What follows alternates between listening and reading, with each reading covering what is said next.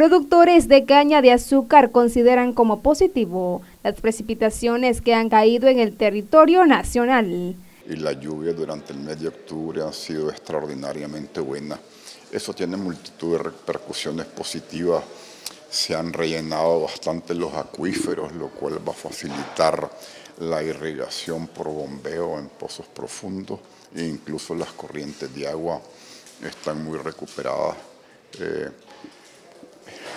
algunas cosas, eh, la caña de azúcar da la impresión que va a tener un comportamiento parecido a la cosecha del año pasado, es el que están estimando los ingenios azucareros Monterroso y San Antonio, que más o menos van a ser similares las cosechas. El productor José Augusto Navarro asimismo expresó que el aumento en la tarifa energética y la reforma tributaria ha golpeado al sector considerablemente.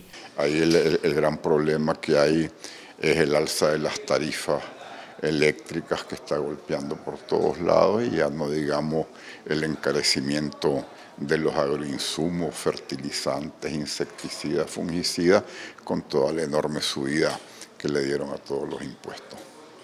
Ustedes también siembran eh, o sea, para poder eh, que haya agua en, estas fuentes hídricas de las que utilizan o hacen pagos extras a las alcaldías, ¿cómo funciona?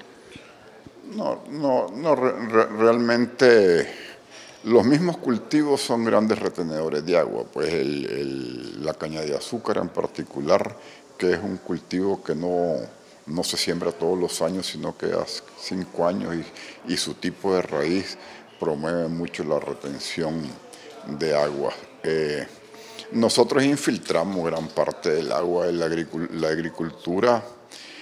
Lo que hace es bombear el agua, volverla a depositar en el suelo y que se vuelva a infiltrar. Pues hay un porcentaje de pérdida, pero relativamente pequeño, que es lo que puede evaporarse en ese proceso de aplicación del agua, pues, pero el agua no nos la llevamos ni va para ningún lado, pues la, bombeamos y la volvemos a depositar, ya sea vía aspersión o vía goteo en el mismo suelo. Noticias 12, Teresa Reyes.